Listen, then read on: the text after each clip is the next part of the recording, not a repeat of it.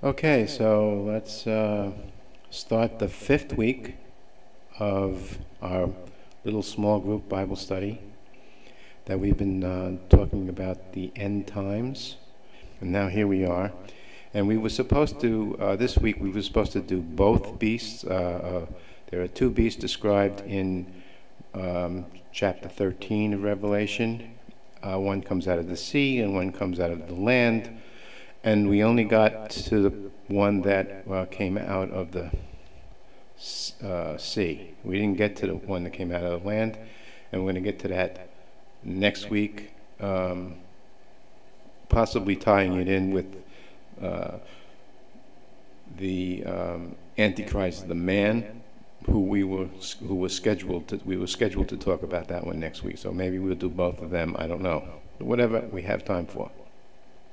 Uh, in our first week, um, if you haven't, if you if you just tuning in now, our first week we um, uh, studied the 70 weeks of Daniel, uh, and it has very powerful uh, proof that Jesus fulfilled the 70 week prophecy when Messiah would come. So it's uh, really, I highly suggest you you uh, go to the, you you um, hear that first week uh, recording um, because you know it's almost crystal clear that Jesus fulfills that prophecy as he should. If he is the Messiah, he should fulfill the prophecy where it says that he's coming. Okay? In the second week, we debated the um, pre trib point and the post trib point because Christians are divided on this issue, and uh, if you know, there's we shouldn't be. I mean, one of them is right; they both can't be right.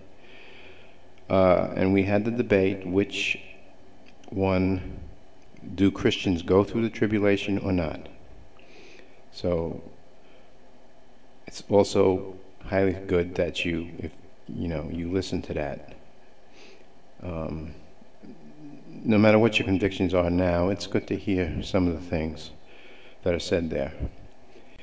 And then the um, third week, we went over a uh, timeline, the timeline of the final week, and we pointed out that not Daniel in Daniel 9:27, when he talks about um, a covenant that is made with many for one week, and that is typically taken as the final week.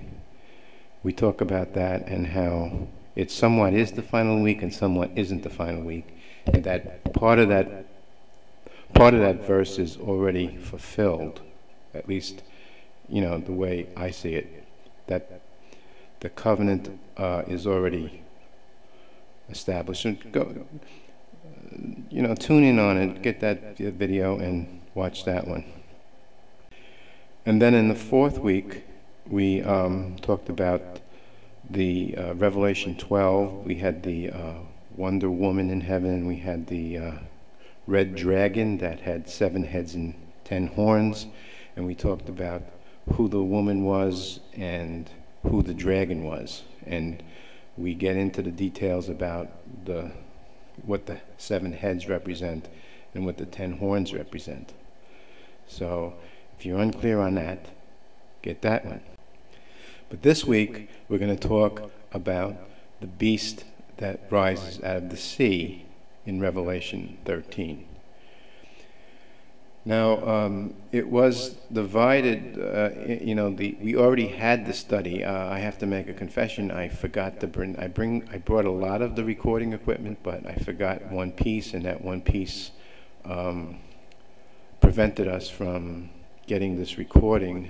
Uh, we did, we did make a try of it, but I'm not sure how that turned out, so maybe I'll have an, uh, pieces of it that work, but right now, um, this is after the study already happened, and I'm here alone by myself, and I'm, I'm just going over it with you uh, while it's sort of fresh in my mind. Okay? Okay, let's get started. We'll read the um, chapter uh, about the first beast, um, and then we'll talk about it. Revelation 13:1. And I stood upon the sand of the sea, and I saw a beast rise up out of the sea, having seven heads and ten horns, and upon his horns ten crowns, and upon his heads the name of blasphemy.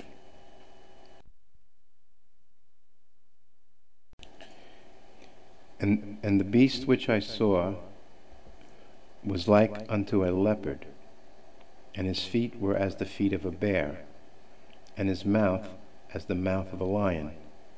And the dragon gave him his power, and his seat, and his great authority. And I saw one of his heads, as it were, wounded to death, and his deadly wound was healed. And all the world wondered after the beast. And they worshipped the dragon which gave power unto the beast. And they worshipped the beast, saying, Who is like unto the beast? Who is able to make war with him? And there was given unto him a mouth, speaking great things and blasphemies. And power was given unto him to continue forty and two months. And he opened his mouth in blasphemy against God to blaspheme his name and his tabernacle and them that dwell in heaven. And it was given unto him to make war with the saints and to overcome them, and power was given him over all kindreds and tongues and nations. Verse 8 And all that dwell upon the earth shall worship him, whose names are not written in the book of life of the Lamb slain from the foundation of the world. If any, in verse 9, if any man have an ear, let him hear. Verse 10 He that leads into captivity shall go into captivity. He that kills with the sword must be killed with the sword. Here is the patience and the faith of the saints. Okay, so getting back to. Um, the first verse, the prophet John is uh, talking, and he says, uh, I stood upon the sand of the sea, and I saw a beast rise up out of the sea. Now, the word beast comes from the Greek word zoe, uh, which has to do with the fact that he's a living creature. Okay? So, beast was the king, is the King James word that they gave, the English word that they gave that. And uh, I think it's fitting. Uh, the beast is is kind of fitting anyway. So let's leave it as let's let's call him the beast. Um, he comes out of the sea, and we're going to get to that a little later. Um, he has seven heads and ten horns. Exactly like the red dragon. The red dragon has seven heads and ten horns. Um, uh, except this guy, he's described as, uh, upon his heads, he has the names of blasphemy. And this guy is not red. He was like unto a leopard. A leopard is not red, he has spots. And his feet as a bear, and his mouth as a lion. Okay, so what is that all telling us? Well, we just did that study on the dragon last week, and we noticed that the dragon had these seven heads, and we compared them to the beasts that uh, of Daniel chapter seven, where he sees these beasts in his in his vision, and um, one was like a lion, one was like a bear, one was like a leopard, and one was had ten horns. So we see that um, this beast has characteristics of the heads of the dragon. So it's sort of like he's in the image of the Father, you might say. He's the Son, and he's in the image of the Father. So we get that in the second part of uh, verse 2, uh, where it says that uh, the dragon gave him the power, gave him his power and his seat and his great authority. Doesn't that sound like the Father saying, Come on and join the company? Okay, let, let's just take a look also about what exactly this great authority he had, the, the devil, the Satan, the dragon, has to give the beast. That's in um, um, Matthew 4, verse 8 through 11. Let me read, read that to you. And the devil takes him to up into an exceeding. Now this is um, Jesus is uh, being tempted by the devil at this point. He just uh, fasted for 40 days, and um, and that's where we are right now as far as this goes. Verse 8 Again, the devil takes him to the exceeding high mountain and shows him all the kingdoms of the world and the glory of them, and says unto him, All these things I will give thee if thou wilt fall down and worship me.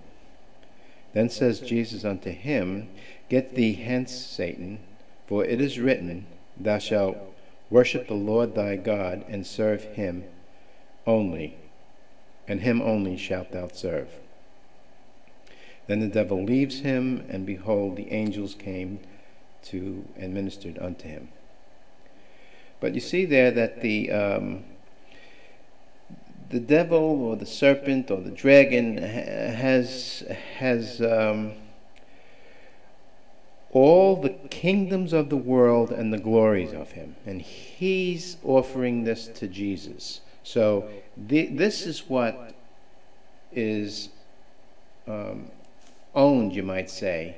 All the kingdom of the world, you might say, and the glory of the kingdoms are owned by serpent and the devil. And another thing we pointed out, uh, uh, you know, is that uh, this was not a piece of cake for Jesus to sustain. No, because he was a man in the, he was God, but he was God in the flesh. He did come from the seed of Mary, uh, of a woman. Okay, so this was a temptation. This was something that um, he overcame, and because he is God, he overcame it because he did have the uh, knowledge of who he was and where he was going, and he knew his Father. He was able to overcome these temptations. That's exactly how we overcome our temptations. We overcome it through the knowledge of who we are, who God is, and what God has is requesting of us. Okay, so uh, it seems like we have a father, the, the, the dragon with the seven heads, ten horns, and we have the son, this beast that uh, also has seven heads and ten horns. The father, the dragon, gives the, the son, the beast, his power and his great authority. All the kingdoms of the world are, are offered to him, and um, so we have this Father, Son, and, and uh, we're looking ahead into uh, Revelation 19.20. We see that the other beast in chapter 13 seems to be um, the false prophet. So it's sounding familiar and um, it's e kind of easy to see that it's a, a, an unholy trinity, you might say, with, with the dragon, the beast, and the, the false prophet beast. And uh, to add even add it even further, there's a harlot that sits in uh, Revelation, and there's in Revelation chapter 12, there's this righteous woman who represents the church, Israel and the church, the righteous seed, and um, so you know it's it's like the good team and the bad team, and we have to make up our minds here on earth who which team we want to join. Very important. The Valley of Decision, very important. Join the right team. Okay. Um, exactly who this be who is this beast that we're talking about? Let's start getting you know bring it out. Let's bring it out into the open as who I think this beast is. But before I do, let's go to verse seven um, to explain it a little bit. The last part of that verse, and power was given him unto all kindreds and tongues and nations. So he has, this beast is, has power over all kindreds and tongues and nations. Basically, he rules the entire world. Now, if you look out there in what political government, entity, empire, call it what you will, what has power over all of it? The whole world. And the United Nations comes to mind uh, because um, that one would fit. I mean, if, if it was more sovereign than it is today, then that one would definitely fit. And it is, it is, I do see it where it is becoming more and more sovereign. Okay, so it fits some of this description. Now, how about the description that uh, this beast has seven heads and ten horns. I mean, how does the United Nations fit that one? And um, I ask, what is the organization of the, I mean, how does the United Nations organized? It has um, a General Assembly, all the nations uh, play a role, and it has the Security Council, which is the ruling uh, body of the of the uh, beast, and it has the um, Secretary General, which is the spokesman of the United Nations. Okay, so so how does that? I mean, how how do we get to the seven heads and ten horns? Well, um, right now the Security Council is composed of five permanent head permanent uh, members and 10 non-permanent members. Okay, so that would be five heads and 10 horns. So all we would need is two more heads and it would have seven heads and 10 horns. And I think that it is going to be getting its two more heads and I think that it'll have a total of seven permanent members right before it begins its 42 month rule. So that'll be a sign to us, uh, you know, when we see that the Security Council has two more members and now it has seven heads and ten horns, it'll be like, you know, an alarm going off saying, hey, the seals are about to be opened, the uh, 42 months is about to begin, the um, tribute, the uh, great tribulation will happen, you know, in the next three and a half years from now. So, I mean, it's like we're given these, uh, the prophecy, we're given the prophecy, we should study the prophecy, and we should look for signs, and we're given the signs. So, this is given to us. Again, when we see that it has seven in the Security Council, that's a big sign for us. Now, what are those, um, what, what do we think those next two members will be?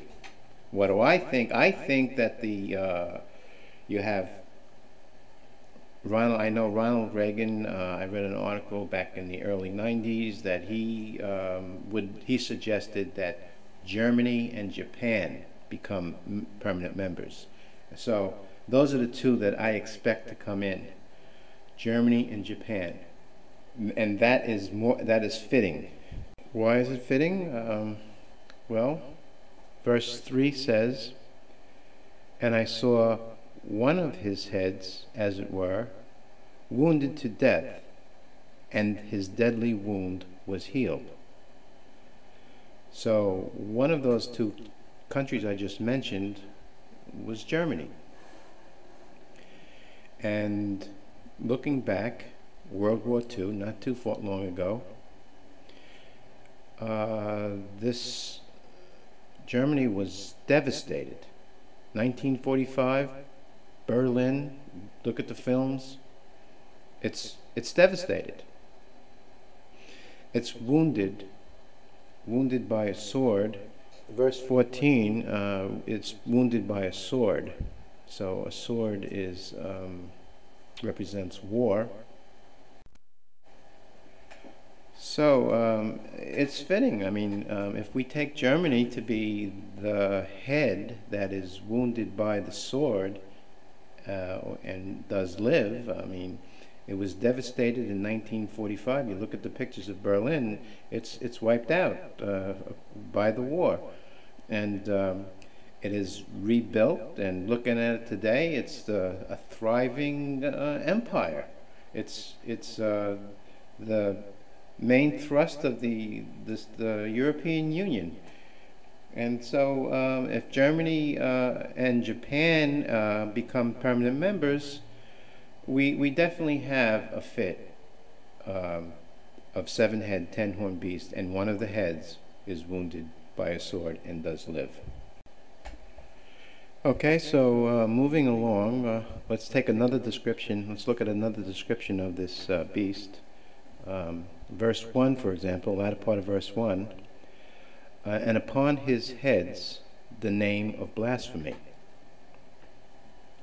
So before we talk about that, let's focus in on one of the forms of, of blasphemy as indicated in um, John 10, verse 33. The Jews answered him, saying, For a good work we stone thee not, but for blasphemy, and because thou, being a man, makest thyself equal with God, makest thyself God. So that's a form of blasphemy. And we're going to look at these heads. We're going to look at the names of the of the seven heads of the Security Council, uh, and you know we'll study it. Okay. Okay. So um, let's take a look at one of the heads, one of the seven heads, China, for example. Okay? Now let's look at the name China and look at the name as what the Chinese themselves call themselves. They call themselves Cheng Yua. Zheng Yua. And it means middle country or center of the land. Okay? Um, that it is the middle of the world. Is the, they are the VIP of the nations. Keeping that in mind, let's take a look at Zechariah 2, verse 10 and 11. Sing and rejoice, O daughter of Zion, for lo, I am come, and I will dwell in the midst of thee, saith the Lord. And many nations shall be joined to the Lord in that day, and shall be my people, and I will dwell in the midst of thee, and thou shalt know that the Lord of hosts has sent me unto thee. So we have the picture of uh, God dwelling amongst his people. And wherever God sits, it, to us it is the Holy of Holies. Um, and we have the picture of the other nations surrounding this um, center, Holy of Holies. So the center of the land is God Himself in the Holy of Holies, and all the nations surround it. That's the picture we get from this Zechariah. And here comes China saying, I'm the center of the world. Now, if that would be blasphemy if China was serious in declaring itself to be the center and not where God and his people and where God sits. Okay? So that's where we get the blasphemy tint in, in China's name. Okay, let's go to um, a possible um, nation of the United Nations, Japan. Uh, it, it's, his name really means, literally means, sun origin. And uh, they also uh, think of themselves as the land of the rising sun. So, what can we compare that to? Let's uh, take a look at John 8, verse 12. Then spake Jesus again unto them, saying, I am the light of the world. He that follows me shall not walk in darkness, but shall have the light of life. So we have this um, competing uh, forces, Jesus competing against Japan as being the light of the world. So which one is it going to be? So by Japan saying, I'm the light of the world, in a, again, that's that tint of blasphemy that comes in there. Okay, let's go to Russia. Now, since I couldn't really find a direct um, translation of the name Rush, uh, you know, I, I, went to the Bible and I looked at um, uh, Ezekiel chapter 38, um, verse 3, for example, and say, Thus saith the Lord God, Behold, I am against thee, O Gog, the chief prince of Meshech and Tubal. Now, um, some translate that, some translate um, translate it to be Rosh, Meshech, and Tubal, and most likely ancient names of Russia, Moscow, and Tobolsk, which uh, to me, uh, I, I got a feeling that uh, that the way the way of looking at that is correct. That Rosh in that the Hebrew word there for for chief, the Hebrew word Rosh means chief, and it's translated as chief. But in the Septuagint, for example, they they left Rosh in there as if it were a place. And it is being kind of redundant to say chief priest, chief prince. That's sort of redundant. And so um, I, I kind of like go along with it that um, Rosh uh, in that verse stands for Russia, and Rosh in Hebrew does mean chief or head. Okay, so he's the, the Russia's a head, chief. Let's uh, compare what uh, Scripture talks about uh, Christ being the head. Verse um, Ephesians 1, uh, 19, starting with 19. And what is the exceeding greatness of his power to usward who believe, according to the working of his mighty power, which he wrought in Christ when he raised him from the dead? and set him at his own right hand in heavenly places. He set him far above all principalities and power and might and dominion and every name that is named, not only in this world, but also in the which, which is that which is to come. And has put all things under his feet, and gave him to be the head over all things to the church, which is his body, the fullness of him that filleth all in all. So you see there, um, he's far above all principality and power and every name that is named, including Russia's name, who Russia calls himself the head.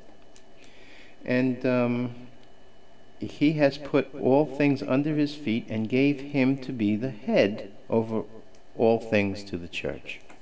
So you see that um, if Russia were very serious about being the head and confronts the head, who was the head of the church, with that, that would be that blasphemous uh, characteristic of, of the name Russia. Okay, so let's go on to the next one um, the United Kingdom. It's represented by four countries England, Wales, Scotland, and Northern Ireland. And um, to make the comparison uh, to the scripture like we've been doing here, Let's first go to uh, Matthew uh, 28, uh, verse 19, when Jesus says, Go ye therefore and teach all nations, baptizing them in the name of the Father and the Son and the Holy, Holy Ghost, Holy Spirit. So uh, I'm just pointing out the, the Trinity right there. Um, and so we have the Father who is represented, you know, who is King of the universe. He's often called King of the universe. And the Son, who uh, called uh, in a couple of places as King of Kings. Okay? So they're kings. I'm getting at to the point that they're kings. Holy Spirit is really uh, not mentioned as a king, but to me, he's a king. He's a king in his own right, and um, his role as pointing to the King of Kings, and that's the reason why he doesn't take on that role. But he is a king, most certainly. So we have three kings, and um, let's go also to verse John 10, verse 30. It's very simple, very short one. It says, I and my Father are one. Okay? So they're both kings, the Father and the Son are both kings, and they're united kings. And the Holy Spirit, of course, is united with them as well. So we have the united kings, united kingdoms. The kingdom of our God has become the kingdom of our Christ, the, the united kingdoms. Okay? So now, here's this great, here's this Great Britain and Northern Ireland, and, you know, they're coming up and saying, you know, we're the United Kingdom. Now, if they, again, if they were serious about that and they came and, and came up to God, uh, to God's face and they declared that, then that would be the blasphemy of the name. That's what I'm saying. Okay, let's go to the next country, um, France. I looked up the meaning of France, and uh, I came to the conclusion that it was uh, it meant free, F R E E, or freedom or liberty. And for the scripture comparison for that one, let's go to uh, John 8, 31 and 32. Then said Jesus unto the Jews which believed on him, If ye continue in my word, then ye are my disciples indeed and you shall know the truth, and the truth shall make you free. Okay? Um, and we're all familiar with the uh, title where Jesus called himself the way, the truth, and the life. So, uh, verse 36 there in John. Um, if the Son, therefore, shall make you free, you shall be free indeed. So, he's talking about a freedom that cannot be compared with any other freedom that men know of. Free of sin, free, uh, free of bondage, free to worship God in spirit and in truth, free of condemnation. Okay? Not being condemned anymore. That's the freedom he's talking about. Can France offer this freedom? Can France, is France the truth? The truth sets you free? Can France ever be the truth? I mean, this, uh, by calling itself free, if, again, if France is serious about it being the freedom, the freedom, then that, again, that's blasphemy. Okay, let's go to the next one. Uh, Germany, as um, what we're saying is a 2B country in the seven heads. And I looked up what Germany uh, means, and it basically just means, or Deutschland, uh, it basically just means um, the tribe land, uh, which uh, I, I really don't really see a a, a blasphemy connection with that. But again, this is the uh, head that had the deadly wound and was healed. Now, the, the name, the propaganda name that Nazi Germany gave itself was the fatherland. Okay? Now, the fatherland, let's compare that with what Scripture has to say. Uh, Matthew 23, verse 9. And call no man your father upon the earth, for one is your Father which is in heaven. So now Germany's saying, we're the fatherland, again, a blasphemous name. Okay, let's go to the seventh one on the list, which is um, our own country here, United States of America. Now, it's taught in the schools that America was named after the map maker Amerigo Vespucci, Italian map maker. Um, now, Amerigo is Italian, and what does that mean in English? Well, the English name uh, is Henry. Now, what does Henry come from? The origin of Henry is German, and, and in their language it means I'm Heimrich, Heimrich, or home ruler. Okay? So let's go to the uh, comparison. Let's go to the scripture comparison of Ephesians 5 22. We'll start with 22. Wives, submit yourselves unto your own husbands as unto the Lord. For the husband is head of the wife, even as Christ is head of the church, and he is the Savior of the body.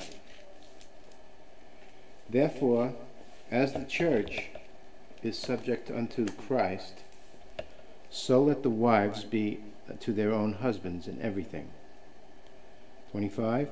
Husbands, love your wives, even as Christ also loved the church, and he gave himself for it. Okay? Um, verse going down to chapter 6 Children, obey your parents in the Lord, for, he, for this is right. Honor thy father and thy mother, which is the first commandment of promise, that it may be well with thee, and thou mayest live, it, thou, thou mayest live long on the earth. And ye fathers, uh, provoke not your children to wrath, but bring them up in nurture and admonition of the Lord. So uh, we're basically told there of the uh, hierarchy of the home. We have the um, uh, man who is supposed to love the wife and nurture his children. We have the, the wife who's supposed to also bear the children and bring them up in the Lord and we have the children to obey the parents, and we have Christ over the man and over the woman and over the whole family. So we have the home ruler is Christ, as it should be. So America is coming around and saying, we're the home ruler. We're the ruler of the home. And uh, again, that fits into that blasphemous category if they're going to be serious about that and exalt themselves in front of God and and and um, you know overrule His rules, His domestic rules and stuff like that. So there we have it. Um, all seven heads uh, can be can be, it can be said of all seven heads that their names are blasphemous names. If again, if you take them seriously, and these, believe me, these people do take themselves seriously in their quest for power, and it is, and, and Antichrist is serious about uh, him being God and no other God before him. All right, so uh, let's continue on looking at uh, some of the descriptions of this guy this beast, this entity, this corporation, this, this um, conglomerate. And there was given unto him a mouth speaking great things and blasphemy. A mouth. He has a mouth. A security council.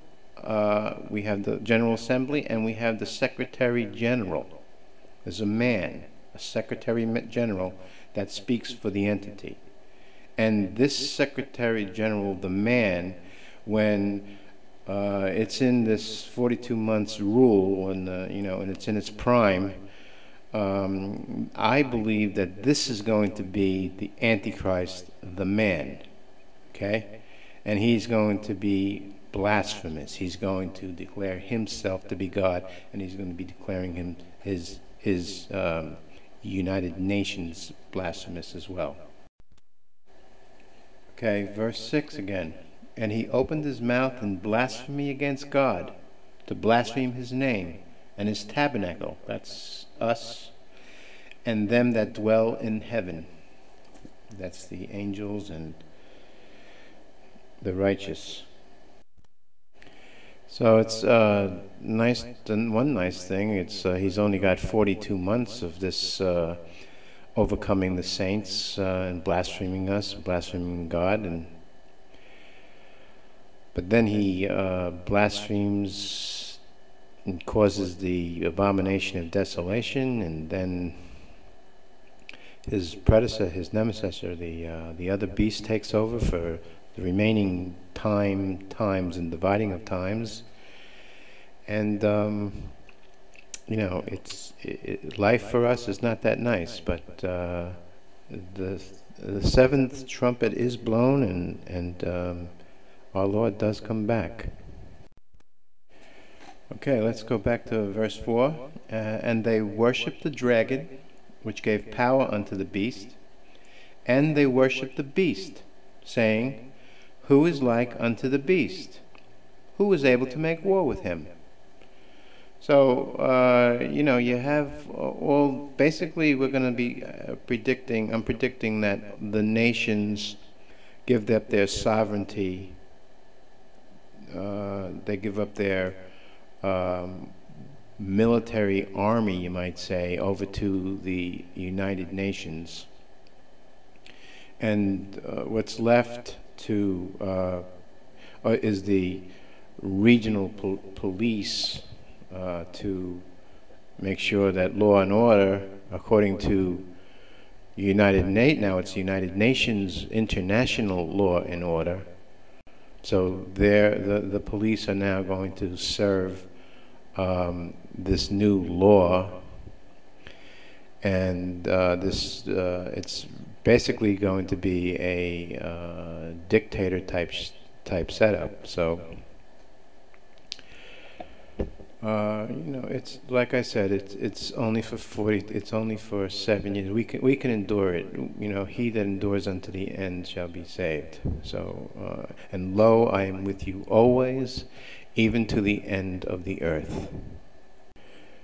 But uh, what I'm getting at is, um, if you know, they have all the guns and they have the great army, and uh, like it says in verse four. Um, who is able to make war with the beast? He's got all the guns. He's going to compensate the guns. I mean, there's.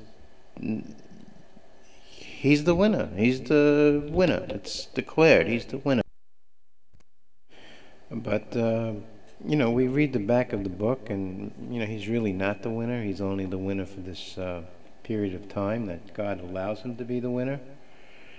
And. Um, we're talking about empires in chapter 7 of Daniel, uh, verse 13.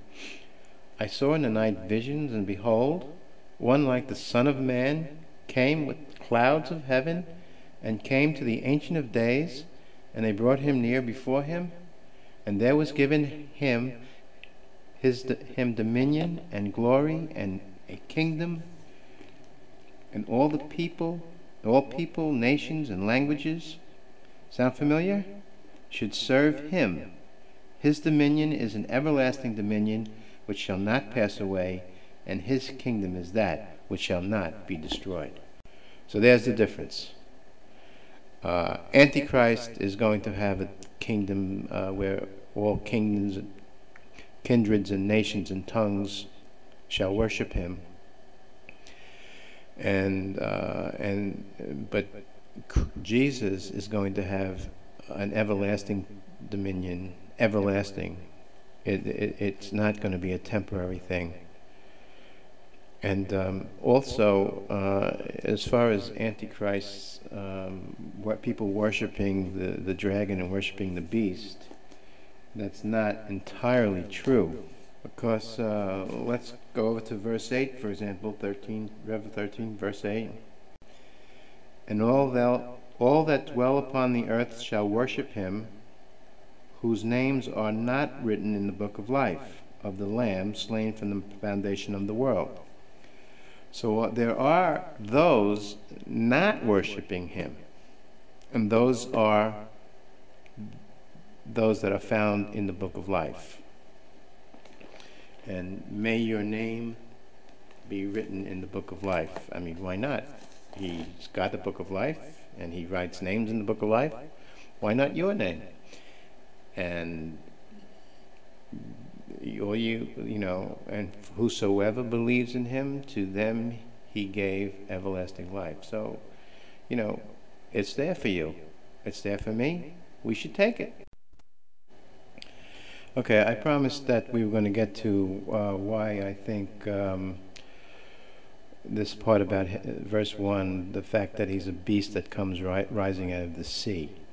And how do I get to that? Well, um, let's first look at uh, Daniel 11, uh, 45.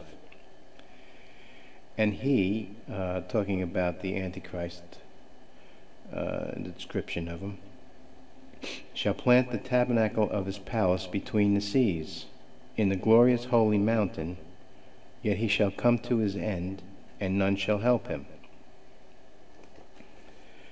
So you notice where uh, the United Nations building is located? It's located in Manhattan, in the North America, which is sort of like an empire or a mountain between the seas. It has got the Atlantic on one side, it's got the Pacific on the other side. It's definitely an empire um, between the seas. It's planted in New York. New York is called the Empire State. And, um, and notice it says, in the glorious holy mountain. Now, now um, holy simply means separate. Mountain, again, uh, is a term used for empire. Uh, glorious, uh, you know, you can throw that in if you want, but um, so that, that fits there. You know, John's over in Patmos in, in uh, Isle, right off the Greek uh, island there, and uh, he's looking out into this, you know, he's on the sand of the sea, he's looking, and he sees this beast come out, you know, out of the sea. So uh, that, that makes sense. Okay, so uh, it looks like the United Nations fits the bill. Yay, yay. Why yay? Um, again, uh, I, I don't want to add to the book. Um, uh, I, I, you know, I think that the United Nations is going to fit this. Um, I would be very surprised if it didn't. I would be very surprised. First of all, we have to have the Germany and Japan come in.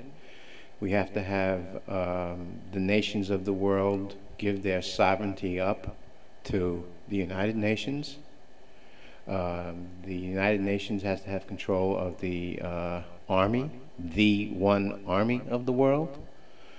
Um, so you have a lot of things going on. It's going to the United Nations has to be, uh, or at least the spokesman for the United Nations has to be the one to confirm the covenant, as we talked about last time you know, what we talked about when we talked about the timeline.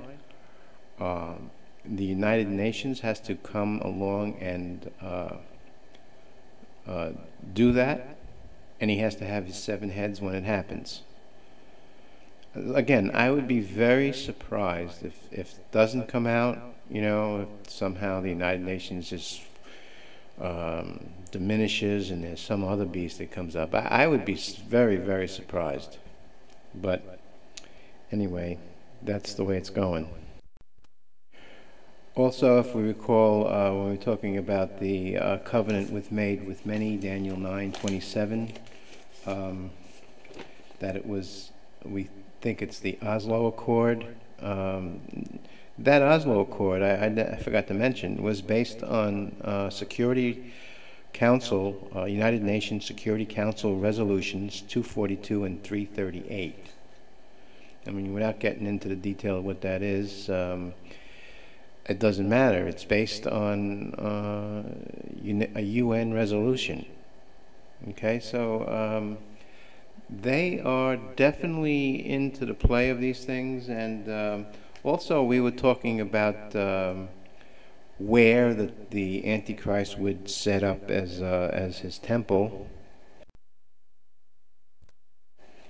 And uh, something new came up, and when I was uh, doing some background research on uh, the topic uh, for this for tonight, and um, we have the. Uh, we were talking about the where the the Antichrist would declare himself as God. It's it's it's written that um, he will sit in the temple as God in the Thessalonians, and um, Jesus called, uh, said that uh, when he stands in the holy place, it would uh, trigger the abomination of desolation. And we were, you know, discussing does the temple have to be rebuilt, um, uh, or doesn't it have to be rebuilt? And you know, uh, I made a point that um, this temple could be his temple. And as I was doing research on the UN, I noticed that it has within it a part of it, it's a non-government organization within the UN, it's got a temple of understanding. It's got its own temple. So uh, isn't that interesting? It is a global interfaith organization uh, at the United Nations. It's a non-governmental organization in consultative status with the United Nations Economic and Social Council, UNESC UNESC. And its mission is to promote understanding among the world's religions, to recognize the oneness of the human family, and to achieve a spiritual United Nations.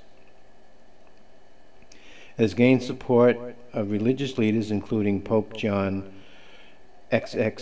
XXIII 23rd and the Dalai Lama, and other prominent re representatives of Buddhist, Christian, Hindu, Jewish, Muslim, and other faiths.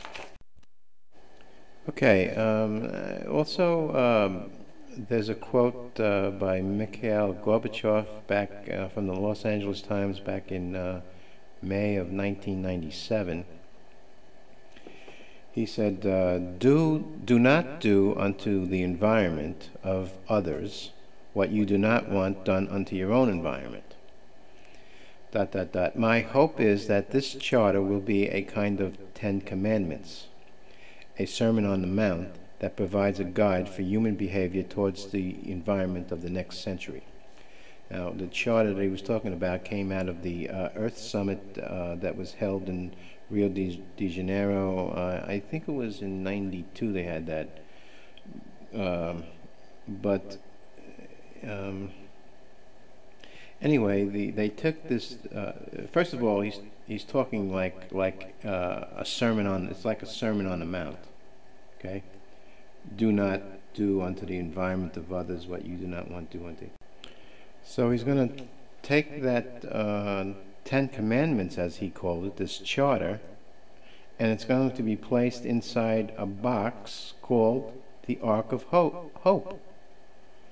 The Earth Charter is handwritten on papyrus paper and it's ready for presentation to the United Nations. The Ark, along with its Gaia Ten Commandments. So you see, uh, God has His laws, and uh, He keeps He considers them to be sacred. They're put into a box called the Ark of the Covenant, and um, they're placed in the temple, the Holy of Holies, and uh, here along comes this this uh, this guy that says, uh, I want the Ten Commandments of the earth, of the earth charter, and I want to put it inside an ark of hope, and I want it to be an environmental thing where we preserve the earth, and these are the laws, and everybody's got to obey them. It sounds, you know, it sounds very, very familiar. Know, furthermore, there's um, in the United Nations there's a a room, it's called the uh, meditation room, and you can go there, and um, it has a. If you go in there, there's a black stone, and uh, Dag Hammarskjöld, who set the room up, was uh, called the said that the block is every man's God. Uh, I I don't think he's every man's God. Do you? Is he your God? Nah, that's that's not your God, right? Okay. The room is 18 feet wide, which is a 366 thing, uh, six plus six plus six, and uh, it's it's got the shape of a truncated pyramid, um, which again is um, symbolism in the Freemason and uh, that type of thing, that secret society type stuff. So we have this, uh, summing in this whole thing up, we have this um, great empire coming into vision closer and closer. And we can see him clearer and clearer. And it's frightening. Uh, frightening is a good word. But should we be should we be frightened?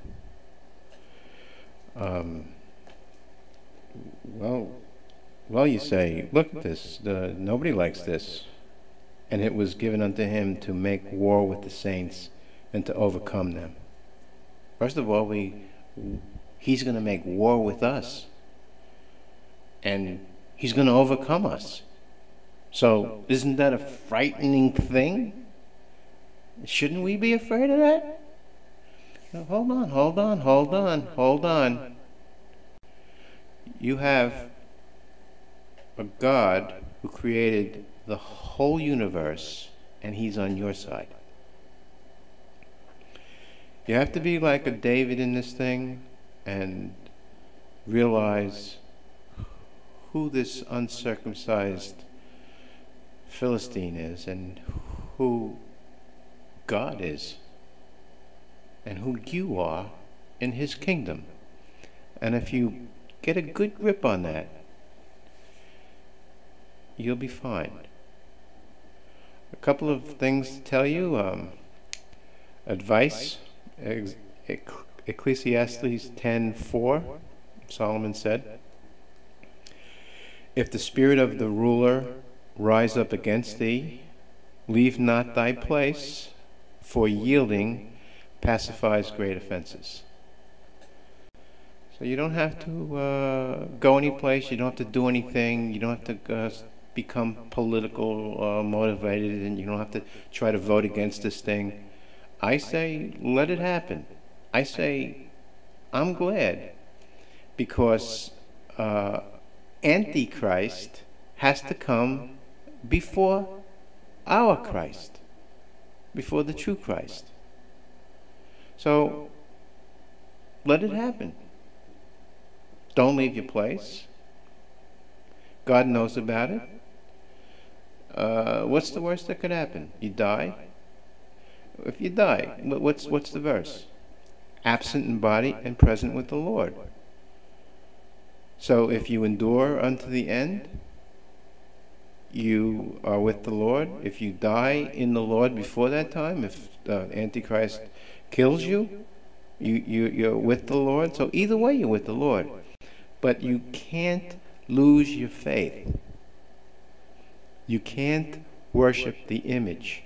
You can't take the mark. Okay?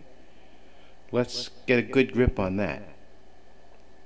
Let's prepare, be prepared as good soldiers. Let's, let's put on the armor of Christ.